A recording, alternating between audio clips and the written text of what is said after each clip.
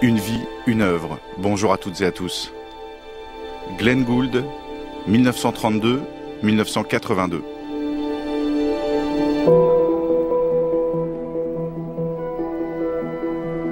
Non, je ne suis pas du tout un excentrique. Cette phrase de Glenn Gould sonne comme une dénégation.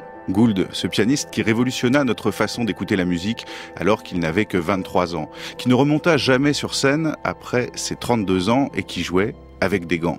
Et pourtant, si Gould disait vrai qu'il n'était pas un excentrique, mais bien au centre, au cœur même de la partition, comme un chaman ou Jésus-Christ. C'est ce que vous propose aujourd'hui de découvrir Une vie, une œuvre au cours d'un trip lyrique de Toronto à Toronto, en passant par Moscou, New York et la solitude glacée du Grand Nord. Une quête de l'extase et de l'impureté au goût de médicaments, de scotch et de caoutchouc, une variation pleine d'humour et d'amour, signée Laure Limongi et Nathalie Battus. Goodness, I wish they'd fix the heating system in this place. Oh, I know, it's always incredibly cold in the studio. Cold? I always find it incredibly warm and terribly stuffy. Would you settle for leaving the thermostat just the way it is, maybe? Why not? Une vie, une œuvre. An Idea of Glenn Gould. 1932-1982. Is this where you want me to sit, by the way? Um, no, I think probably we should swap places actually, so I can be next to Sir Nigel. Oh, okay, sure. Le personnage n'avait rien de banal. Rien. Jamais. C- Ce n'était pas un génie par intermittence.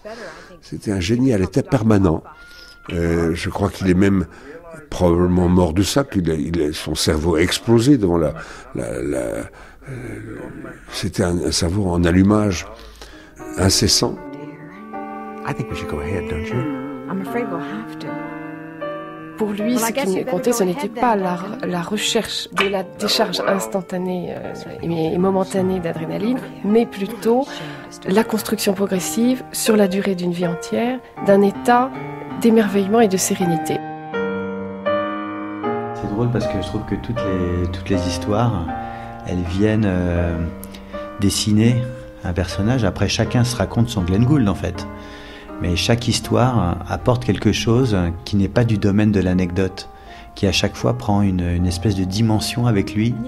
On a l'impression que chaque anecdote raconte une partie de la grande histoire. Et ça, c'est vraiment super. C'est euh, c'est beau pour ça parce qu'il est capable de recevoir tout ce qu'on raconte sur lui et que ça vienne colorer le personnage, que ça vienne euh, l'enrichir. Mort ou pas mort, euh, Glenn est vivant. Il est, il est, c'est quelque chose d'un phénomène, je crois à peu près unique, de quelqu'un qui, après sa mort, n'est pas rentré au purgatoire. On pourrait commencer par évoquer le pianiste de légende.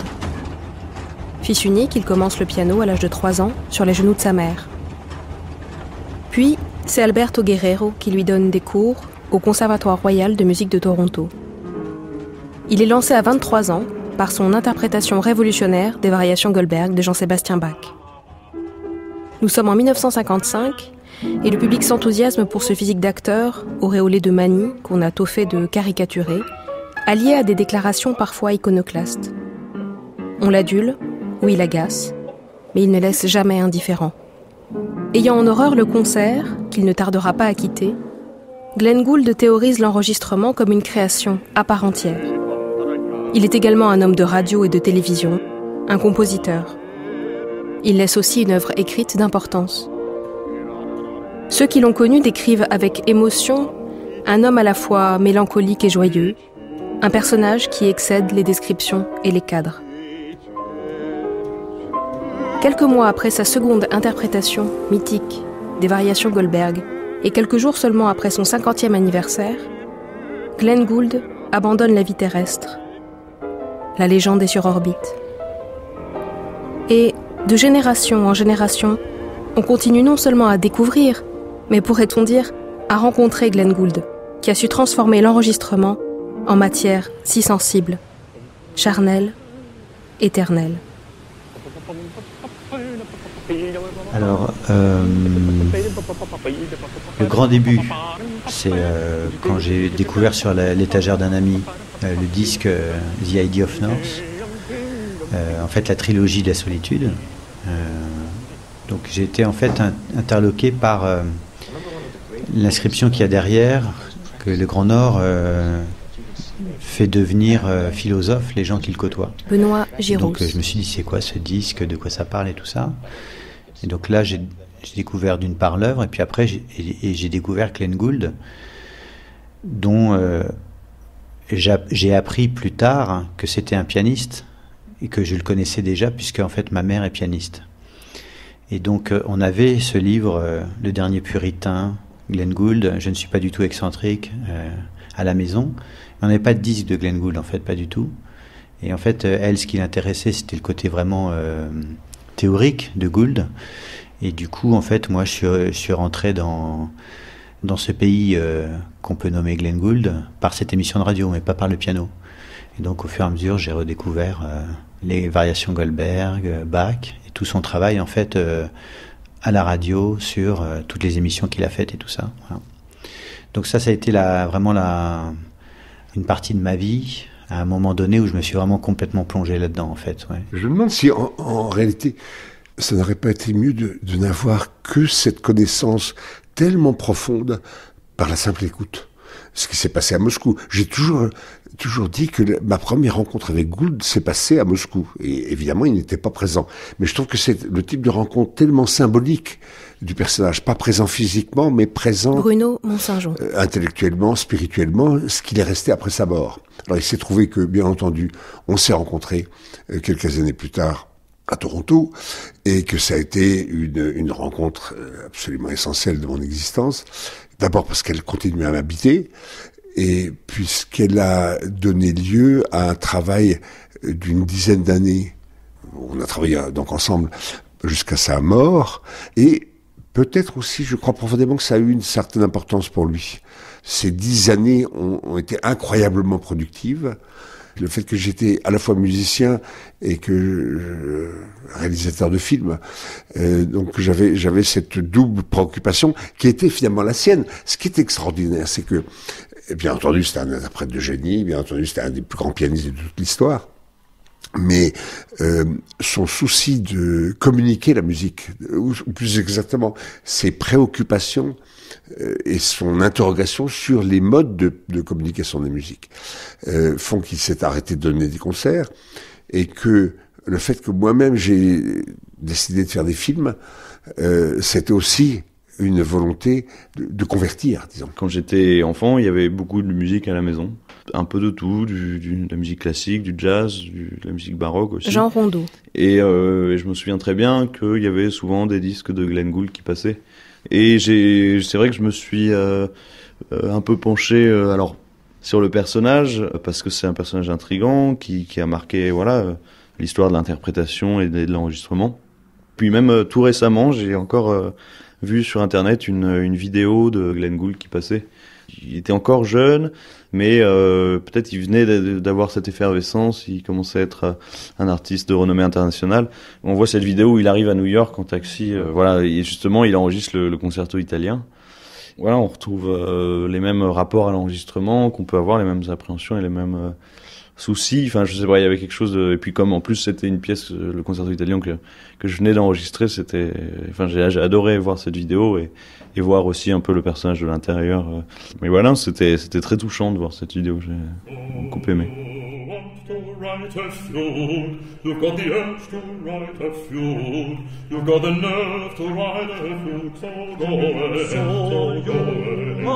Il était un acteur absolument stupéfiant. Et, par acteur, je ne veux pas dire que par là qu'il jouait un rôle euh, artificiellement conçu. C'était, il jouait son, son, propre rôle, qui était un rôle extraordinairement convaincu. Vous savez, on, je trouve, je trouve qu'on a, on a très souvent l'impression que lorsque euh, quelqu'un exprime une pensée profonde, on a tendance à dire mais c'est du paradoxe, mais c'est de la provocation, etc. Je pense que le fait qu'il ait exprimé ses idées les plus profondes avec une toujours une teinte d'humour. Euh, je, pense que c'est par l'humour en fait qu'il a réussi à nous convaincre. Si vous voulez, je crois beaucoup au fait qu'un documentaire ne doit pas se contenter d'exposer ou d'explorer la réalité, mais que la réalité doit se plier aux besoins du documentaire, d'une certaine façon. Et euh, c'est ce qui a pu se passer avec Gould, du fait de cette compétence qu'il avait, du fait de son amour du cinéma, il y avait, c'est quelque chose qui l'intéressait profondément. Et nous savions que euh, c'était des films qui étaient euh, déjà qui appartenaient à l'avenir, disons, au futur, que euh, il resterait probablement et qu'il ne se, la consommation par une diffusion ne suffirait pas à les épuiser. Voilà. Le soir de la diffusion donc du premier film à la télévision française, je crois que c'était en 74 si je ne me suis pas trompée. Il y a eu une grève de la télévision et donc en de pareils cas, la loi prévoit un programme unique euh, sur toutes les chaînes. Et voilà que tous les foyers français ayant décidé d'allumer la télévision ce soir-là sont tombés sur la planète Glenn Gould euh, grâce à vous. Le samedi soir, en général, c'était des, émissions de variété qui étaient diffusées en direct. Donc ça ne pouvait pas avoir lieu. Ils n'ont pas eu d'autre choix, les malheureux programmateurs, que de, programmer ce film sur, Gould, qui était euh, d'abord en anglais, qui était... Euh, Glenn était quasiment inconnu. Et puis, la première scène, vous savez ce que c'est C'est la première scène dans laquelle il arrive avec un, on voit un espèce de fantôme entrer dans un studio. Euh, il a un paquet dans les bras qui jette à terre, qui est sa chaise. Et euh, à ce moment-là, je rentre dans le champ. Lui-même se défait de son manteau qui vient poser sur un projecteur, et je lui pose la question qu'est-ce que c'est que cet objet? Voilà. Et lui-même me raconte, euh, en prenant un accent français en anglais, Monsieur, you will not speak disrespectfully of the Monsieur, vous n'allez pas euh, parler sans, sans respect d'un membre de ma famille, euh, qui, est, ma chaise en fait. Bon. Et donc c'est une scène, je crois, assez frappante. Et ça, ça, il y a eu un, un, une, un impact euh, sur le public euh, manifeste. Gould est devenu véritablement une, une icône du paysage intellectuel et musical aussi, parce que je pense que ce qui est très important, c'est bien, bien entendu, l'impact musical. C'est d'abord quelqu'un qui a, qui a transformé notre écoute, non seulement de Jean-Sébastien Bach, mais de tous les compositeurs qu'il a abordés, euh, mais notre écoute en tant que auditeur participant. Je crois qu'il a eu, il a, il a souhaité en, en, en renonçant à la, à la glamour de la scène, euh, faire en sorte que ces auditeurs ne, ne soient plus les esclaves euh, conviés au banquet des arts, comme il disait, mais des auditeurs participants et qui sont invités à pénétrer à l'intérieur de la partition.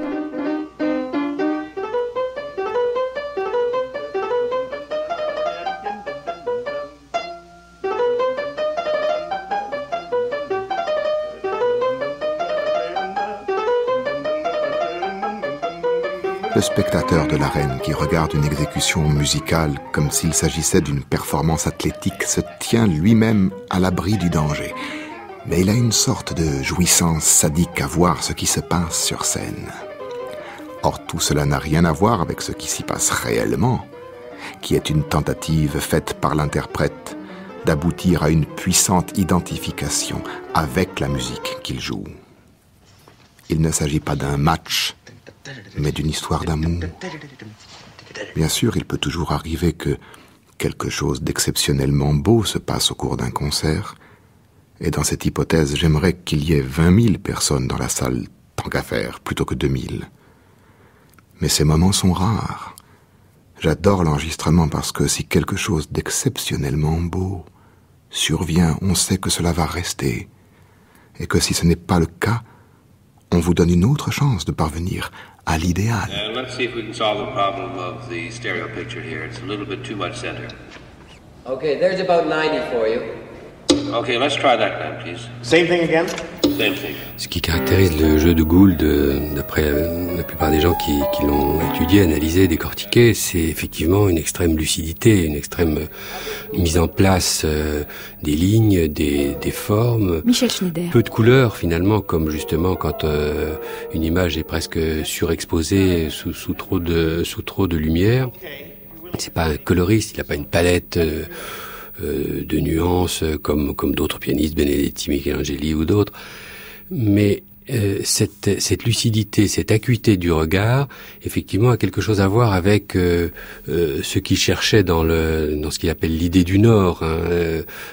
Il, il, y a dans les éclairages rasants des, des, pays du Nord une, une, un découpage de la réalité et du réel beaucoup plus précis, beaucoup plus exact et, souvent bouleversant, euh, alors que euh, dans les pays du Sud, le, le, le, la lumière zénitale écrase un petit peu les formes et, sous, sous, sous, et, les ombres sont, sont en quelque sorte euh, durcies, oui. Comment ça... Le, problème, c'est qu'il faudrait tout redéfinir concernant Gould.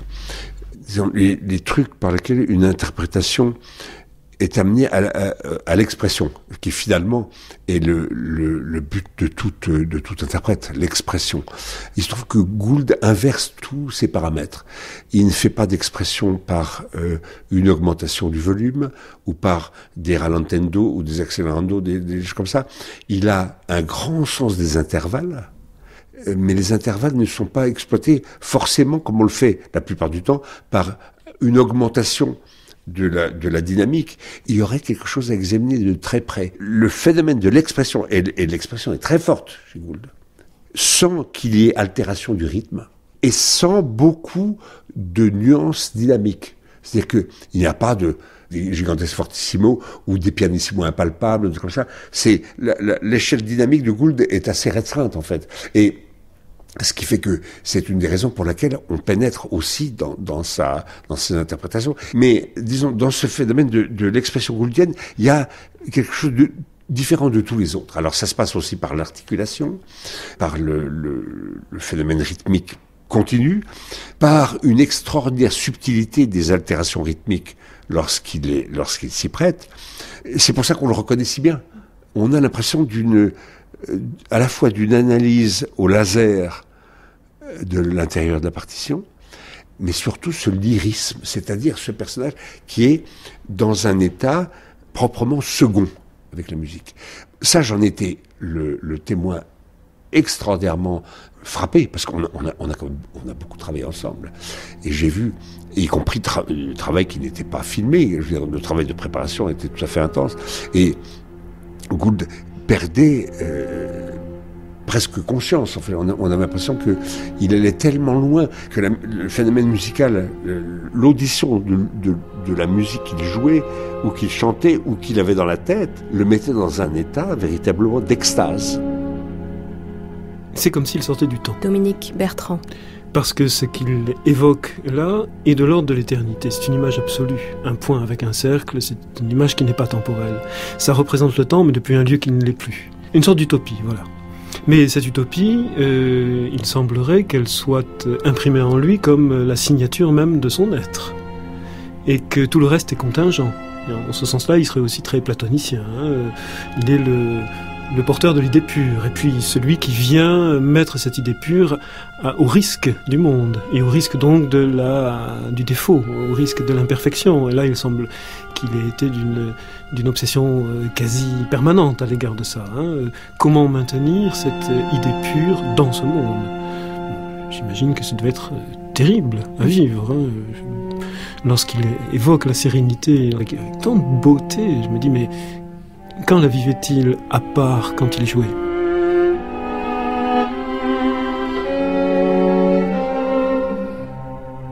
Il ressemble à une star. Je, pense que la question Pascal du, du personnage de la star devait, devait l'intéresser.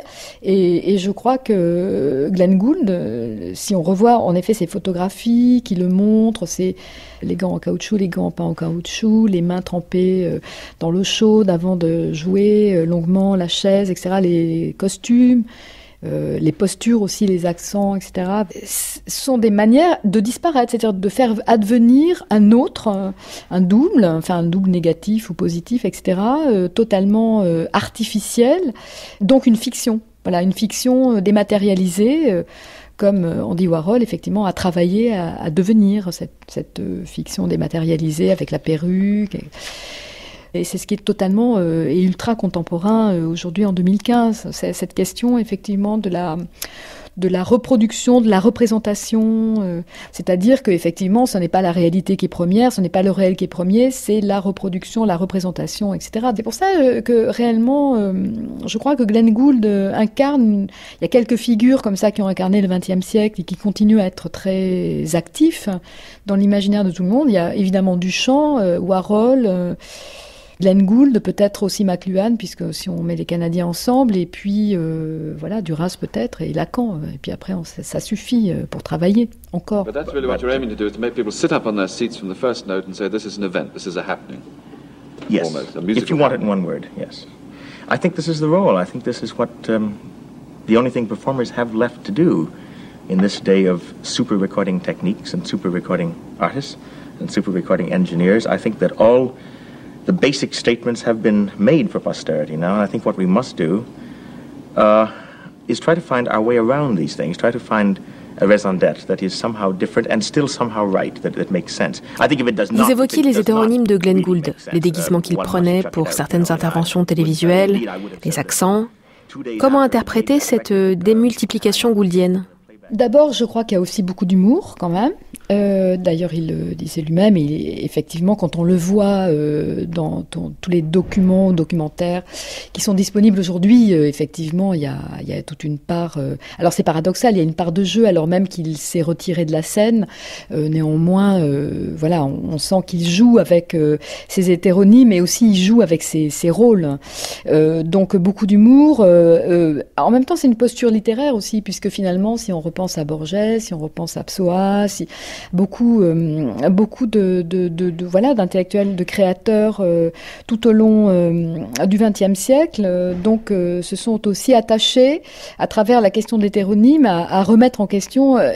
À la fois la question de l'identité, mais aussi euh, l'identité de l'œuvre. Donc je pense que c'est une manière peut-être de se, de s'amplifier. C'est comme un amplificateur théorique en, euh, chez Glenn Gould, probablement le l'hétéronyme, le jeu des hétéronymes et avec et toutes les postures qui, qui accompagnent euh, effectivement ces divers personnages, euh, oui allemands ou autres. Euh, donc euh, sont une manière peut-être pas de contrôler, mais en tout cas de diversifier, de d'étendre, d'amplifier, d'augmenter, euh, au sens de Pérec, probablement la, le, le moment créateur. Et c'est ce qui est singulier et c'est ce qui est plein de charme aussi. I really thank God that I'm able to sit in the studio with enormous concentration and enjoyment, doing things many times if necessary, and taking what is more important, a view of the work that I'm recording, which lets me in on the composing secrets of the work, really. There have been many occasions when I've Glenn Gould a toujours, toujours préconisé une approche de l'histoire euh, qui, euh, euh, qui ne fait pas qu'on, qui fait qu'on est, on ne fait pas partie d'un, d'un flot continu, obligatoire. Il ne croyait pas, disons, à l'idée du, du progrès dans l'art. Bruno Et que. Pour lui, une, une œuvre de Guillaume de Machaut euh, n'était pas moins belle parce que peut-être moins élaborée que la dernière œuvre de, de Stockhausen. Voilà. Donc, il y a, un processus continu euh, qui se déroule et que euh, tout le système sur lequel l'histoire est- ou le temps est la plupart du temps euh, fondé et qui est un système de comparaison quelque chose qui y récusait totalement. Et je crois que ça va même plus profond, ça va jusqu'au euh, à l'idée euh, du rejet du principe de compétition comme élément moteur de l'existence. Alors ça va, ça va très loin parce que je crois que, euh, en plus, Glenn habitait quand même sur le continent nord-américain, euh, qui est le continent de la compétition par excellence. Et je crois que c'est peut-être pour ça qu'il s'est caché, qu'il s'est, il a été reclus. Il n'a jamais fait partie de la vie musicale, ni mondaine, ni quoi que ce soit de, de, de ce genre. Au Canada, qui était, qui de toute façon, qui est un pays beaucoup moins agressif que les États-Unis, mais euh, l'idée de compétition était quelque chose qui est rejeté profondément. Alors, on peut, on peut mettre ça dans le cadre du temps ou de l'histoire. Oh, this was one we're gonna wagon, right? I detest audiences. Not in their individual components, but en masse, I detest audiences. I think they're a force of evil, if I may once again revert to that clean enough? Yeah, I think we can handle that. We can EQ. I can EQ. Okay, if you're willing to try an EQ. So, Dans votre ouvrage, Une idée du Nord, dans le chapitre consacré à Glenn Gould, Glenn Gould, la passion d'enregistrer, vous citez quelques lignes de lui. Dans un très récent enregistrement de moi des sonates de Beethoven, deux pianos différents furent utilisés. Trois mouvements de l'une de ces sonates furent enregistrés en 1976 sur un premier piano, tandis que le mouvement restant fut enregistré en 1979 sur un autre piano. Il est impossible d'imaginer des pianos à la sonorité plus différente. Je savais que ça allait poser un problème, parce qu'il allait se produire un changement dramatique d'ambiance au milieu du disque. Au moment du montage final, nous fîmes quelques essais préliminaires et mîmes les deux pianos sur une fréquence sonore à peu près équivalente. Mais nous nous aperçûmes que cela ne suffisait pas. Nous décidâmes alors de louer un appareil d'égalisation graphique très spécial, dont la console était aussi riche en jeux que celle d'un orgue, et grâce auquel nous réussîmes à faire sonner le second piano, comme s'il s'était agi du premier. Personne ne semble avoir détecté la moindre différence sonore. On peut imaginer le scandale potentiel de telles assertions. Dans cette recherche en studio, il y aurait un parallèle à faire avec l'œuvre ouverte d'Umberto Eco. C'est une grande confiance laissée à l'auditeur. Oui, alors ce qui est drôle dans, la, dans, ces lignes, c'est déjà, euh, comment dire, le court-circuit euh, chronologique, enfin temporel. Ça déjà, c'est une sorte de, d'impureté, comme là aussi on pourrait, moi je, je pensais en, réécoutant ces lignes à, Pasolini, euh, voilà, quand Pasolini fait un film, quant au son, euh, il n'hésite pas euh, à mêler à la fois des images et, et des sons qui ne participent pas de la même culture, ni même de la même chronologie, mais pour justement évoquer un moment, un moment historique. Donc Glenn Gould c'est pareil, c'est-à-dire que au fond il a, c'était un, un, un, terrible pratiqueur de l'impureté, voilà, ou du du, court-circuit, de l'incongruité, néanmoins de manière très très très sérieuse, parce que euh, voilà, ça c'était pas un jeu, c'était sa façon vraiment d'être au plus près de ce qu'il pensait devoir être une la meilleure interprétation possible de, voilà, de, partitions ou, d'univers musicaux. Donc, euh, je, crois que c'est encore un, voilà, élément euh, euh, supplémentaire à apporter à, son extrême inventivité théorique, conceptuelle, que de bousculer la chronologie et aussi de décider qu'il pourra jouer sur des instruments qui ne sont pas les mêmes. En tout cas, euh, oui, on peut imaginer que là, il, transgressait quand même quelque chose de très important, qui, était peut-être irrecevable par certains euh, concertistes ou interprètes ou musiciens.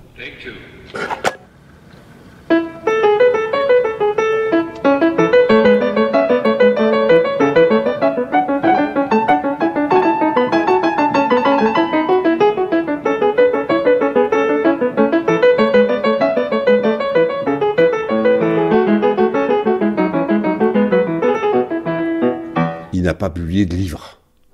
Il a publié une quantité considérable d'articles dans des magazines, y compris dans le New York Times, le, texte en six épisodes sur Stokowski, qui est une qui est digne des meilleures pages de Proust, tout simplement, à mon avis. Donc c'est quelque chose de très substantiel, puisque finalement, pour en publier l'à peu près intégralité, il m'a fallu trois volumes. Mais c'était une activité qui se réservait enfin pour produire son, opus magnum après sa retraite. Et, la retraite, il avait considéré qu'il la prenait à 50 ans, la retraite du piano. Et en fait, il est donc il est mort le jour de ses 50 ans. Et l'activité littéraire qui, à laquelle il, pensait se consacrer en tant que telle euh, n'a pas eu lieu. Il n'empêche qu'il reste quand même tous ces, tous ces magnifiques textes.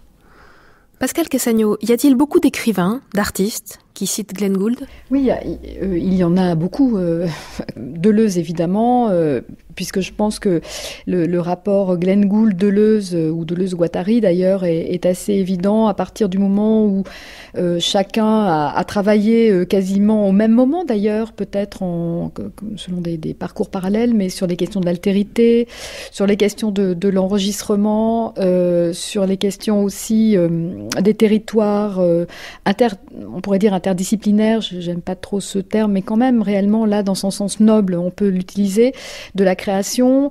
Euh, je pense aussi qu'il faut parler euh, de Derrida, Jacques Derrida, parce que euh, tous les travaux, les premiers travaux de Derrida sur la différence, sur la grammatologie, sur la question de la gramophonie, sont assez homologiques à ce que Glenn Gould lui-même a, a inventé ou théorisé dans ses entretiens, dans sa pratique, quant à l'enregistrement, quant au travail d'ailleurs de la radio, euh, quant à la question aussi euh, de la dialogie, etc. Donc, euh, je, alors ça, c'est pour les penseurs. Les écrivains aussi, beaucoup d'écrivains contemporains se réclament, entre guillemets, de, de lui.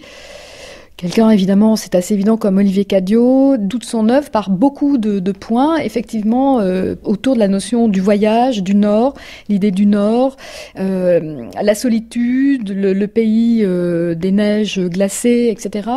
Et puis alors la question aussi de l'auto-entretien, de l'auto-dialogue, du reproductible, du ready-made, enfin, voilà, l'espace littéraire chez Cadio, évidemment, il est d'abord un espace littéraire contemporain, sans aucun effet de réalité ni de réalisme, néanmoins moins, par, il procède par collage, euh, par, euh, euh, en, une interrogation assez fine sur la question de la représentation. voilà, ça, effectivement, ça évoque ce que Glenn Gould disait lorsqu'il disait qu'il était enfermé dans le sud d'enregistrement avec le scotch, enfin avec tous ces mètres de scotch pour monter, coller. Donc en fait interprété aussi. Et, euh, et, on peut dire que Glenn Gould était un pianiste, déconstructeur, monteur, euh, euh, oui, reconstructeur et à l'infini. Hello, everyone. I'm Margaret Pochu, and it's my pleasure to act as host for the Silver Jubilee interview with Glenn Gould. It's also my pleasure to introduce to you the distinguished members of our panel who have gathered to celebrate the occasion with us and to interrogate, in their own inimitable fashions, I'm sure, our guest of honor. And Glenn, I assume that you're prepared for that interrogation. Well, I've just taken a Valium, Margaret, and I'm trying to be as calm as one can be when confronting a bevy of music critics. Les jeunes créateurs qui sont plus des, des créateurs sonores aujourd'hui se sont très souvent emparés de tous ces propos sur euh, le studio, la pratique du studio, l'enregistrement, la théorie de l'enregistrement et puis aussi euh, la question de l'entretien ou de l'auto-entretien. Ça, je crois que c'est aussi important d'en parler. Comme, enfin, de l'auto-entretien euh, que n'a cessé de finalement de pratiquer Glenn Gould avec lui-même comme une radio intérieure. Enfin, je, je pense qu'on pourrait en parler de cette manière-là et ça, c'est des problématiques non seulement qui ont été assez, euh, comment dire, fécondes et importantes dans la deuxième partie du XXe siècle, mais qui le sont encore plus aujourd'hui euh, chez aussi bien des artistes plasticiens qui ou vidéastes qui ne font pas forcément euh, un travail à partir du son ou avec la musique, mais néanmoins qui s'interroge sur la question de l'enregistrement, euh, le montage, euh, la question aussi de la représentation sans référent, enfin beaucoup beaucoup de, de problématiques contemporaines euh, sur la reproductibilité, le reproduit, le reproductible, ce qui se reproduit, ce qui revient. Voilà, il y a, il y a tout un territoire énorme au cœur duquel se trouve finalement Greenland. Greenland, really? Greenland, where for uh, several years I researched in the area of Brattalit the mode modifications which were employed in the settlements of Leif Erikson, and in particular the use of the uh, tritone as an early warning system uh, during the attacks on such settlements. That's a fascinating topic, Dr. Klopfweiser. Je trouve que l'enregistrement, c'est un, c'est un, enfin moi je trouve que ce n'est pas forcément un moyen euh, pour la musique je de plus en plus j'essaie de je, Jean Rondeau. Enfin, je suis convaincu que voilà, c'est pas un moyen, mais que ça, ça, devrait être une fin en soi. C'est ça devrait être une démarche artistique en soi. Et ce qui est intéressant avec l'enregistrement, un peu comme d'ailleurs la photographie ou même le cinéma, c'est que c'est un art. Euh, du coup, si on si on considère ça vraiment comme un véritable art, c'est un art qui est assez jeune qui a à peu près, euh, enfin à l'heure d'aujourd'hui, à peu près un siècle. Et euh, Glenn Gould est quand même un, voilà, par rapport au fait qu'il a arrêté de, jouer sur scène et qu'il se consacre comme s'il se consacrait à un autre art, enfin à, cet art de l'enregistrement. Et je pense que ça c'est une démarche que que j'admire beaucoup et que je trouve euh, passionnante. Moi, je suis un, bébé par rapport à ça. Je n'ai fait qu'un enregistrement en solo de Bach, en toute modestie, enfin en toute, euh, en tant qu'élève, je vais me retrouver aussi dans la démarche de Glenn Gould, dans la mesure où, pour moi, l'enregistrement, un disque, c'est c'est pas comme un concert, c'est euh, c'est vraiment essayer de raconter aussi une histoire à travers la forme du disque, à travers la forme de l'enregistrement, et pas seulement le fond. Il faut être, à mon avis, euh, comme l'eau, très souple, s'adapter et être à l'écoute aussi, voilà, des, morceaux qu'on interprète.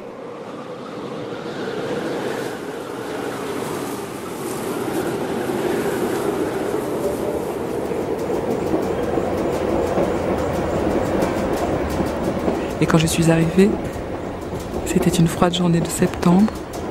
Il neigeait à Coral Rapport et il n'y avait absolument personne pour m'attendre. Quand je suis descendue de l'avion, il y avait un groupe d'hommes barbus, l'air bourru, en grosse parka et en bottes. Et j'étais là, moi, fragile jeune fille de Winnipeg, venue dans le nord pour aider les Esquimaux. À cet instant, je crois que c'est moi qui avais le plus besoin d'aide. Je me suis sentie complètement perdue.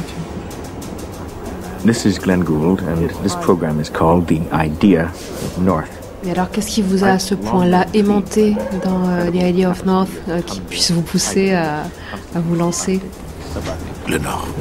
Je pense qu'il y a ce thème euh, de la solitude, de comment. euh, Benoît Giros. La solitude, pour lui, la solitude, c'est une nécessité de l'artiste. C'est-à-dire que pour, euh, pour créer, pour, euh, pour inventer, pour aller explorer des territoires inconnus, il faut être seul. Et en fait, c'est quelque chose que j'ai que j'avais beaucoup euh, refusé ou euh, ou pas compris avant. Et en fait, de- je pense que c'est vraiment la chose qui m'a aimanté tout à coup de me dire, bah ouais, on peut être tout seul dans la vie et pourtant euh, on peut continuer à, vivre et à survivre. Après, euh, l'œuvre, elle est tellement riche. The Idea of North, elle est composée comme, euh, comme une partition de musique. Elle parle du Grand Nord, donc c'est tout un territoire qui s'ouvre avec euh, des légendes inuites, euh, cette, euh, cette autre manière d'appréhender le monde qui a là-haut. Dans le nord de Gould, il y a la musique, donc tout à coup, il y avait euh, tout euh, le contrepoint, il y avait Tubac, il y avait toute son approche à lui de la musique. For this. Il y avait tout à coup un territoire en fait qui s'ouvrait, qui fait que euh, il y avait vraiment du travail. And the further north we went, farther north and so on. But I see it as a, Je suis parti au Canada en, en résidence euh, pour aller sur les traces de, de l'idée du Nord et tout ça. Donc on est monté à Churchill, on a fait un film pour la pièce de théâtre, euh, en prenant le train qu'avait pris Gould. Enfin voilà, il y a toute une espèce d'aventure qui s'est construite à partir de cette émission. Sure, the North has changed my life. I can't conceive anyone being in close touch with North, whether he lived there all the time or simply traveled it month after month year after year. I can't conceive of such a person being really untouched by the North for the rest of his life. When I left in 1965, at least left the job. It goes on like this is there's some special En fait, euh, lui, donc il a arrêté de jouer en, en concert à, à 32 ans et euh, il est parti. Il s'est dit, ben, j'ai toujours rêvé d'aller dans le Nord. Donc il est parti, mais en fait, il a pris le train donc, pour arriver à Churchill au bord de la baie d'Hudson. Mais je crois qu'il y est resté, euh, d'après ce que j'ai compris des témoignages de, son, de son monteur, il est resté 36 ou 48 heures en fait. Donc euh, nous, euh, ça nous a un peu libérés aussi. Donc on, est parti dans le nord et on y est resté euh, quatre jours pour prendre des images de la banquise et tout ça. Et là, en fait, on a, enfin moi j'ai vécu un, c'est un choc de voir euh, la baie d'Hudson, tout le, tout le blanc encore pris dans les glaces. Le vent, on a l'impression qu'il vient de, qu'il a fait 2000 km pour arriver dans, voilà, donc ça transperce, ça traverse. On est resté très peu de temps. Et en fait, pour moi, ce qui était important, c'était vraiment cette idée de solitude. Et du coup, ce que j'ai plus exploré, c'est les, endroits de Gould entre euh, Ottawa, Toronto, donc qui était sa ville natale, et puis il allait euh, souvent euh, dans un lac au lac Simcoe, à 100 km au-dessus de Toronto, et puis il allait encore plus loin euh, au bord du lac supérieur à Wawa. C'était plutôt ça le, ferment de l'expérience plutôt qu'aller explorer le Grand Nord ou choses comme ça. Donc là-dedans, j'ai trouvé des choses. Je me suis aussi découvert peureux, apeuré, euh, inconscient, euh, plein de faiblesses et puis en même temps des, choses qui m'ont plu profondément, de calme, de sérénité, de, parler à des écureuils, de, fur et à mesure appréhender la nuit dans la forêt, choses comme ça. Mais c'était plus de cet ordre-là, en fait, comme une rencontre avec euh, quelque chose que je connaissais pas, plus que comme une exploration d'un territoire extraordinaire. C'était très banal, en fait. Et j'ai l'impression qu'il y a un petit peu ça dans sa quête du Nord, c'est-à-dire, euh, il dit, par exemple, il m'est arrivé de me sentir plus seul dans une ville que je ne l'ai jamais été dans le Nord. Et en fait, pour moi, cette phrase, c'était vraiment, c'est ça, c'est-à-dire que chacun peut aller explorer son Nord à lui n'importe où qu'il soit. Ça peut être là-haut, mais ça peut être euh, de juste de sortir et d'aller euh, dans un endroit du quartier qu'on ne connaît pas et d'y rester, de se poser. Je suis vraiment un écoutant du Grand Nord. Et ce qui est dommage, c'est que je ne peux pas toujours choisir ce que je veux entendre. J'entends ce que les autres m'infligent, vous savez, le bruit, le bruit de la civilisation et de ses insatisfactions quoi qu'on fasse pour tenter d'y échapper, à moins de sélectionner, de comprendre, d'utiliser ce qu'on entend, on est vraiment perdu. Pas seulement des écoutants perdus, mais vraiment des gens perdus. Il y a beaucoup de gens qui considèrent que le fait qu'il ait publié de son vivant que un opus, qui est ce quatuor, opus 1, et que lui-même, sur la jaquette de, ce, de cet enregistrement, a écrit c'est le plus 2 qui compte. Or, il n'y a pas eu de plus 2. Alors ça, c'est une vue superficielle des choses, parce que je pense que fondamentalement, Glenn est, vraiment un compositeur. Euh, il y a eu ce, prodigieux quatuor. Mais il, a, il y a une quantité euh, d'œuvres esquissées, mais il y a surtout le fait que, à partir d'un certain, certain moment, lorsqu'en particulier il s'est occupé de radio, de manière euh, tout à fait professionnelle. Il avait fait, beaucoup de radio euh, lorsqu'il était gosse. Lorsqu'il avait 14 ou 15 ans, j'ai retrouvé des tas de, d'émissions de radio qu'il fabriquait lui-même dans sa chambre, euh, chez lui. donc, dès l'âge de 14 ou 15 ans, il, s'est beaucoup intéressé à ça. Mais il y a eu une, une, période, disons, à partir des années 70, dans laquelle il s'est vraiment interrogé sur le médium radio et il a euh, réalisé euh, toute une série de programmes qui sont, à mon avis, tout simplement, c'est aussi clair que ça, qui sont des compositions musicales, qui utilisent la voix humaine, pas seulement pour son contenu, mais pour ce qu'elle a de, de musical, la voix humaine parlée. Euh, il y a des structures qui, qui tellement euh, élaborées qu'on peut vraiment parler là de c'est son héritage de compositeur. I like to think that I'm not a materialist. I, I hope I'm not. I'm, afraid I am all too often materialistic in my choices. We just bought ourselves a new house. We bought a house with a lot of waste space in it. And is not functional. It's got a very grand staircase and so on. It uses up a lot of room. I think it's partly that I've grown up in a society where things were very functional. Et je crois que tous les, les, toutes les personnes qui ont entendu et qui sont intéressées en particulier à ce qu'on appelle la, la trilogie de la solitude, euh, qui euh, ont été frappés par le fait que le, la compréhension de ce qui s'y dit est moins importante que de se laisser emporter par le flot musical de, de, de paroles, la plupart du temps superposées, euh, avec un, une, un, montage et une illustration musicale très très très élaborée. Je crois que c'est ça, c'est ça. Et lui en était convaincu que c'était son œuvre musicale. Euh, à partir du moment où il s'est trouvé devant une réflexion sur la musique d'aujourd'hui, euh, qui était, à son avis, qui ne pourrait passer que par l'électronique. C'est par ça que ça pourrait, que le, que le, le système tonal étant, étant ayant épuisé probablement toutes ces toutes ces, tout son potentiel, grande musique en tant que telle. Voilà, donc euh, toutes ces, toutes ces choses étaient, faisaient partie de sa, de sa réflexion, et il a décidé de continuer son activité de compositeur par la, par la radio. I have a Mennonite friend who bought himself a big boat. He's no for rich.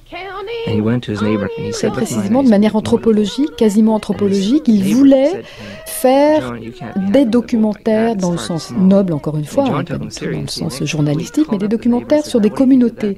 Et donc, euh, par ce travail d'écriture, de, de, mise en scène aussi, etc., il euh, se plaçait de fait lui-même au cœur, enfin, il se plaçait lui-même dans ces communautés, se plaçait au centre, voilà, de ces personnages euh, qui peuvent être nombreux. Dans The Idea of North, ils sont cinq, il y a cinq personnages principaux, cinq voix principales, cinq récits principaux.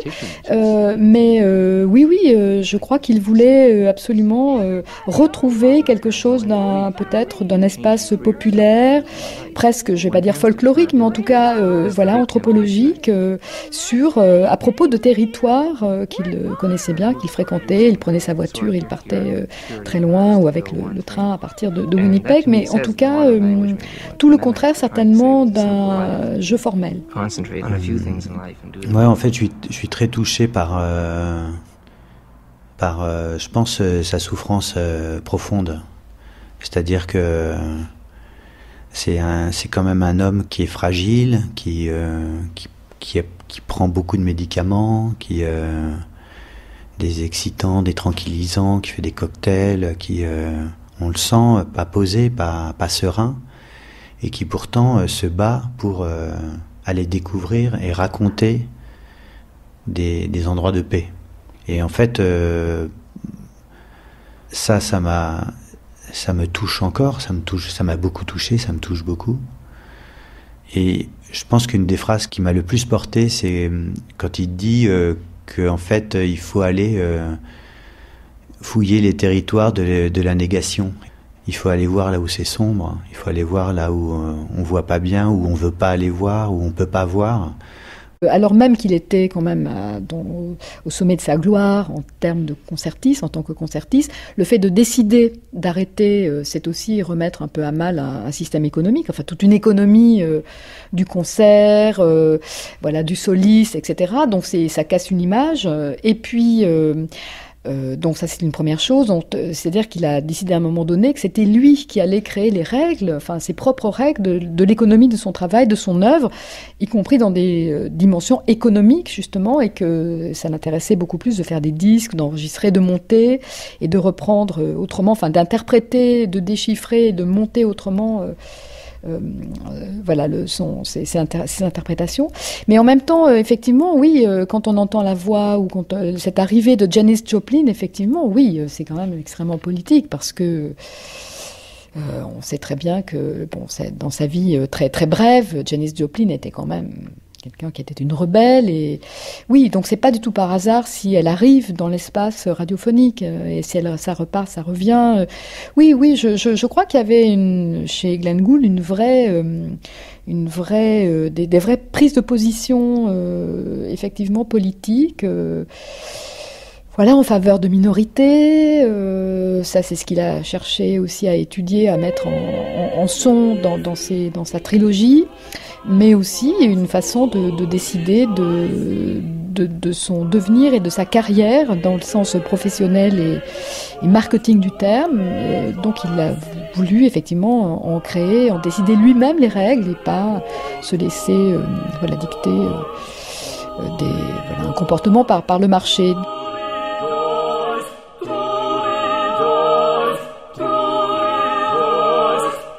Columbia records never fade away. They just wear out.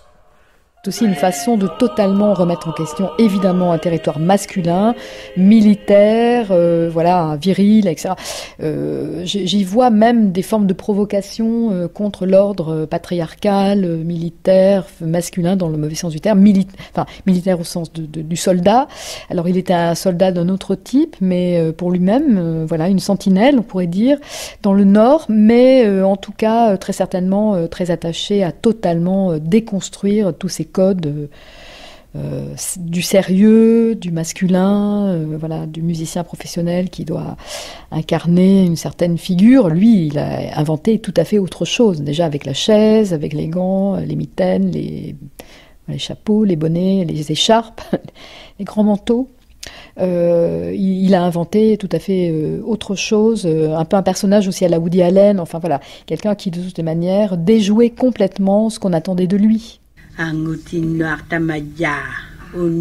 Je pense que la personnalité de Glenn Gould, s'il était né dans une tribu euh, d'Amazonie, il serait le chaman. Ça, c'est absolument évident, par, par beaucoup d'autres signes. Dominique Bertrand. Alors, j'ai l'impression qu'il y a quelque chose, je dirais presque de, de, christique, quelque part, dans la position de Glenn Gould, quand on découvre, particulièrement dans le journal de crise, quelle est la relation à son corps, et de voir combien ça lui coûte, combien ça lui coûte terriblement de, de rester comme, quelque part, le gardien d'une certaine grâce. Moi, j'emploie grâce, je ne sais pas si ça plairait à Glenn Gould, parce qu'il lui parlerait plus de morale, peut-être. Bon, dans la tradition chamanique, le monde est un cercle.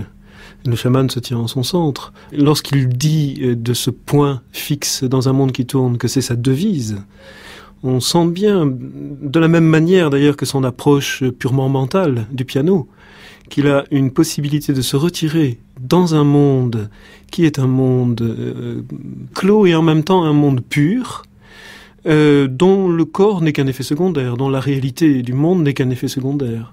Et en ce sens-là, il est chaman, il n'y a, a, aucun doute. Ce serait exactement la position d'un chaman que de considérer que tout ce qui se passe ici n'est que la projection d'une certaine tenue intérieure. La quête de la manière dont il pose le pouce, dont il va sentir son cou, il y a quelque chose du yogi là-dedans aussi, hein, une connaissance interne. Mhm. Et tout ça au service de cette devise qui semble être euh, vraiment comme une sorte de, de principe euh, animateur de, son, de sa vie. Il fait dire à un de ses personnages dans The Quiet in the Land, un des ancrages des Ménonites, c'est euh, être dans le monde sans être du monde. Et voilà, il y a un peu, il y a un peu cette chose-là, c'est-à-dire de, pouvoir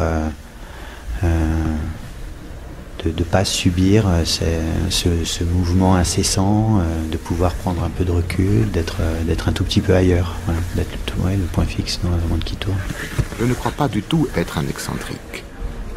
Il est vrai que je porte presque constamment une ou deux paires de gants, que je me déchausse parfois pour jouer et qu'il m'arrive pendant un concert d'être dans un tel état d'exaltation qu'on a l'impression que je joue du piano avec mon nez, mais il ne s'agit absolument pas d'excentricité personnelle. Ce ne sont que les conséquences visibles d'une occupation hautement subjective.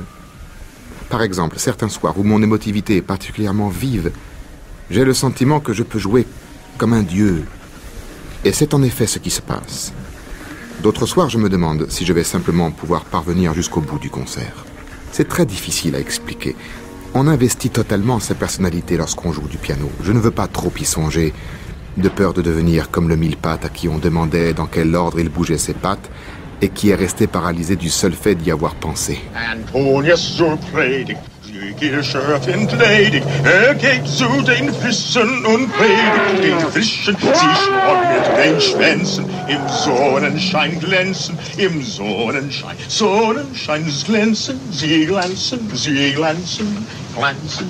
J'ai connu, il n'y avait plus d'animal avec lui. Les seules relations, c'est qu'il adorait aller se mettre dans un champ de vaches et leur chanter. Euh, c'est quelque chose que j'ai que j'ai moi-même beaucoup pratiqué. Jouer du violon pour les vaches, il n'y a, rien de plus, il n'y a pas d'auditoire plus plus plus attentif et plus intense. Euh, et donc ça c'est quelque chose qu'il aimait beaucoup. Mais c'est sans provocation. Du fait qu'il avait du mal à accepter la société, euh, la société agressive que, que représentait l'humanité, et surtout l'extraordinaire la, la, phobie du contact physique qu'il avait avec, les, avec le genre humain. Je pense que le, son, son, sa relation avec les animaux assez fondamentalement, en dehors de ces animaux domestiques, effectivement, euh, qu'il a eu euh, très nombreux dans sa vie, mais c'est d'abord une façon euh, peut-être de remettre en question le langage, d'attaquer le langage, et aussi une façon de, encore une fois, de remettre en question toutes les options euh, philosophiques traditionnelles ou toutes les ontologies euh, qui évidemment euh, concernent la, la, soi-disant supériorité de l'être humain sur le monde animal ou le monde vivant. Alors évidemment là il y a toute une comment dire, il y a une énorme, il y a pense pas que Glenn Gould et Derrida se soient rencontrés, mais on retrouve les mêmes propos chez, chez Glenn Gould qui finalement non seulement préférait la compagnie des animaux à celle des humains, mais au-delà de ça, euh, partageait, enfin cherchait à partager un, état, un état commun, un état commun de pensée avec euh, avec l'autre euh, par excellence, qui est, qui est un animal, en, dehors du langage, par-delà le langage.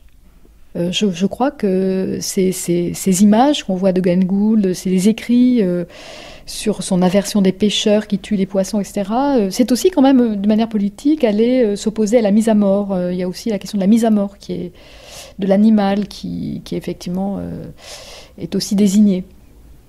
Et puis on peut aussi imaginer tout simplement, et ça c'est dans mon esprit pas du tout galvaudé, mais qu'il était aussi à la recherche de la bonté. Avis de recherche. Oiseau de nuit, amical, reclus, de commerce agréable, socialement inacceptable, anti-alcoolique avéré, bavard impénitent, jalousement non jaloux, spirituellement intense, abhorrant le monde, adorant l'extase, cherche papillons de même nature en vue de séduction téléphonique, de délire tristanesque et de virevolte incessante autour de la flamme. Photos non requises, état de fortune indifférent, âge sans importance, confidentialité assurée, recommandations inutiles, les auditions de toutes les candidatures prometteuses se dérouleront depuis la péninsule d'Anatone, Terre-Neuve. Il y a, je crois, chez quelqu'un qui maîtrise tous les éléments du langage, du langage musical aussi bien que du langage euh, verbal, la joie, elle, est comme un sous-produit de, tout ça que ça soit quelque chose de spirituel ou trans, moi je dirais plutôt d'ordre de transcendant, la joie ultime. Et parce qu'il y avait aussi chez lui une mélancolie profonde, ce qu'il a appelé à la fin de son existence, qu'il est et qu'il il considère que c'était plutôt un compliment de lui appliquer ça, une espèce de paix automnale. C'est un mot que j'ai beaucoup, que j'aime beaucoup. Mais comme il était très amusant et qu'il il était, il y avait, il y avait ce caractère joyeux. Il y avait, moi je dirais, c'est un mot que j'aime, plus du tout parce que maintenant on, on, le colle à toutes les sauces. C'est la jubilation. Je dirais plutôt l'exultation.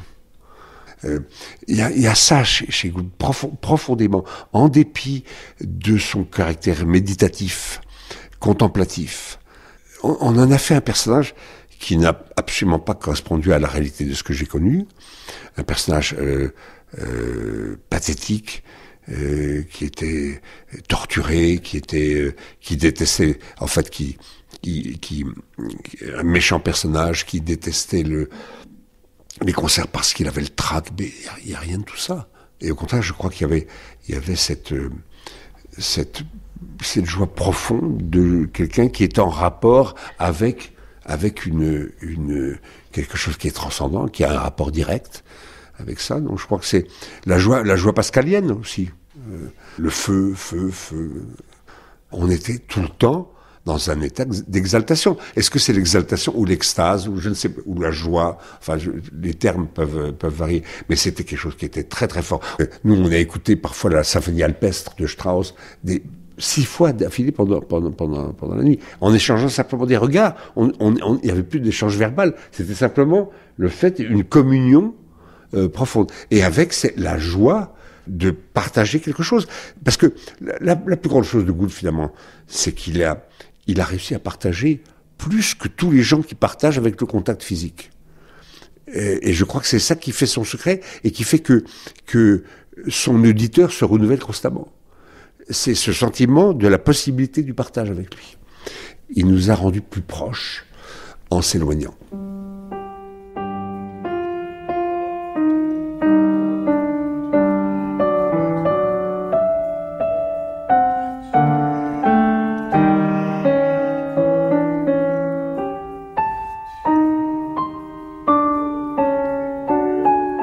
C'était Une vie, une œuvre An Idea of Glenn Gould.